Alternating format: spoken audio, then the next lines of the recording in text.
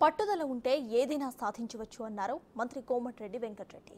విద్యార్థులు ఉన్నత కలలు కనే సాకారం చేసుకోవాలని అన్నారాయన నల్గొండ జిల్లా బ్రాహ్మణ వెల్లంలో గ్రామంలో అమ్మ ఆదర్శ పాఠశాల ప్రొఫెసర్ జయశంకర్ బడిబాట కార్యక్రమానికి ఆయన హాజరయ్యారు. ప్రైవేట్ స్కూల్స్ మూతబడి ప్రభుత్వ పాఠశాలలన్నీ కూడా తెరుచుకోవాలనేది కాంగ్రెస్ ప్రభుత్వ నినాదమని కోమటిరెడ్డి తెలిపారు.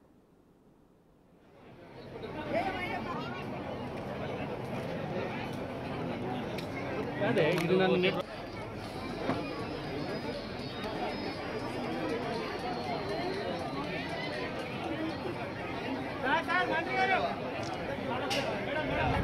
స్వాగతం సుస్వాగతం విద్యార్థుల